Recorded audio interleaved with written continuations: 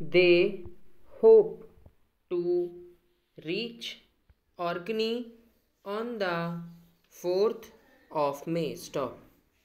The red color on the door and the yellow on the window had a poor effect. Stop. He ought to be fair, comma, and pay the difference to Reed and Hannah. Stop.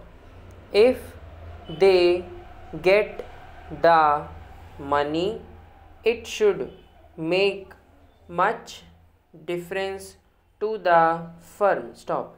They had a heavy mail on Monday. Stop.